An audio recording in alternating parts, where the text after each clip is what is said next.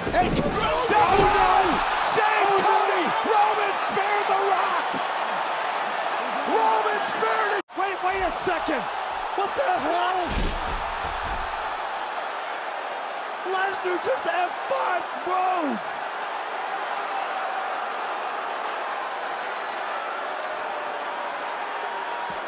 Roman Reigns has no idea what's going on.